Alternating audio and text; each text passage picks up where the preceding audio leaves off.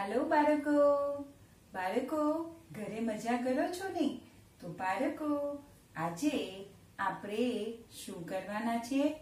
ખબર છે? આપણે વાર્તા સાંભળવાના છે. શું? વાર્તા.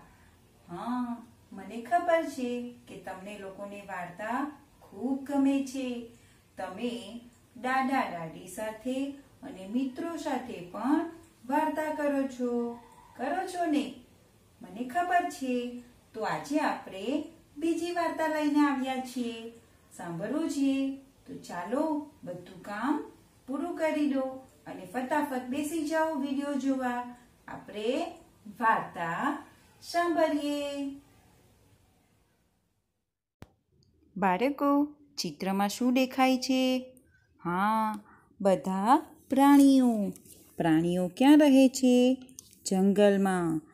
જંગલમાં વાઘ, સિંહ, ચિત્તો, હરણ, હાથી, જીરાફ અને નાનું નાનું સસલું પણ રહે છે.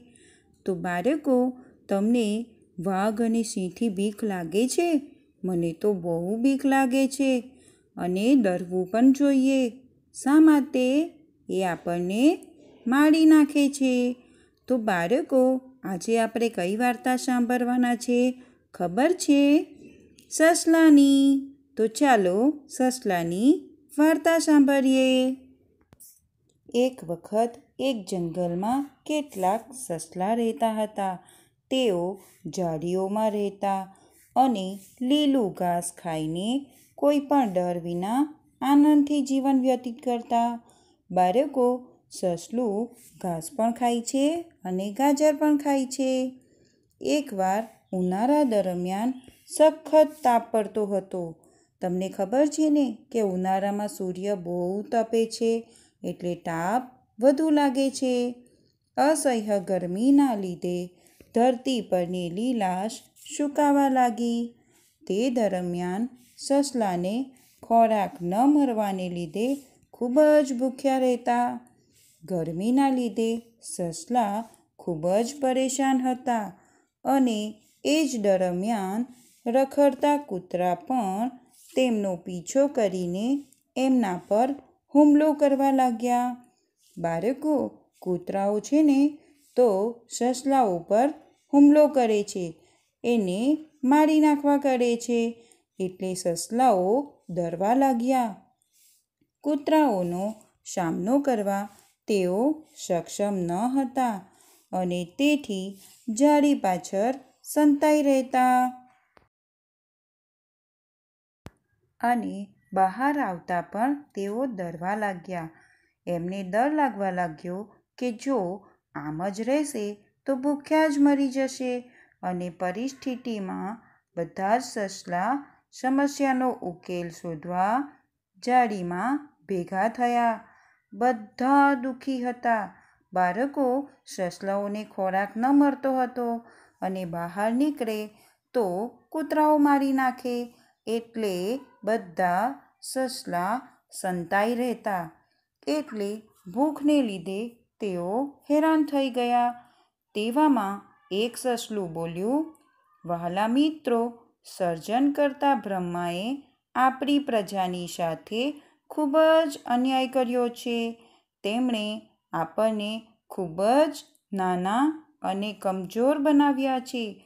ભગવાને આપણને ન તો હરણની જેમ શિંગડા આપ્યા, ન તો બિલાડીની જેમ તીક્ષણ પંજા આપ્યા છે.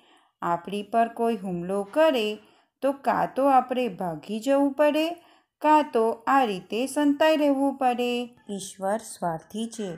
તેમણે ફક્ત આપણા માટે આપત્તિઓ જ સર્જી છે. આવું કહીને પહેલાં સસલાએ પોતાની અનુભવેલી સમસ્યાઓ કહી બીજા સસલાએ કહ્યું, હું રોજ રોજ આટલી સમસ્યાઓ અને ભયનો સામનો નહીં કરી શકું.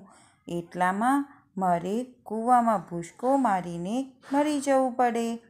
હું પણ તળાવમાં કૂદકો મારી મરી જઈશ.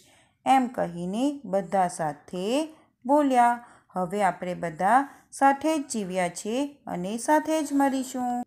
બધા સસલા એકસાથે તળાવ તરફ ચાલવા લાગ્યા.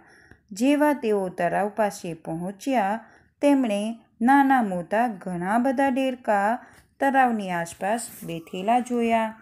દેડકાઓને તળાવમાં ઉછેરકૂદ કરતા જોઈને સસલાઓને નવાઈ લાગી અને અચાનક તળાવમાં કૂદતા અટકી ગયા.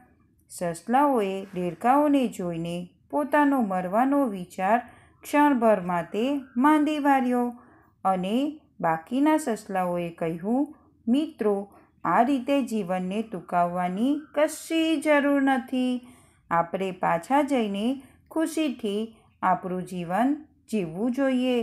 દેડકાઓને જોઈને મને સમજાય છે કે આ જગતમાં આપણા કરતાંય નાના અને કમજોર જીવ છે, જે આપણાથી પણ ડરે છે તેઓ જ્યારે જીવી રહ્યા છે, તો આપણે કેમ જીવી ન શકીએ?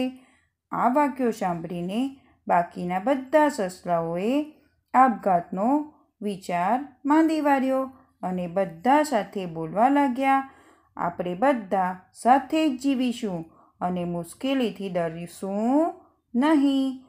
પરંતુ તેઓ બહાદુરીથી સામનો કરવો જોઈએ એવું નક્કી કરે છે. આમ કરીને બધા સસલા ફરીથી જંગલ તરફ ચાલવા લાગ્યા. હવે બધા સસલા ફરીથી પહેલાંની જેમ ઉછળકૂદ કરે છે, રમે છે અને નાચે છે. આમ કરીને પોતાનું જીવન ગુજારવા લાગ્યા. મિત્રો, આ વાર્તામાંથી તમે શું શીખ્યા? સમજ પડે છે ને? તમને ગમી પણ છે વાર્તા? તો તમને જે સમજ પડી હોય અને જે સમજ્યા હોય તે રીતે તમારે તમારા મિત્રો સાથે વાર્તા કરવાની છે. અને શું કરવાનું છે? મજા કરવાની છે.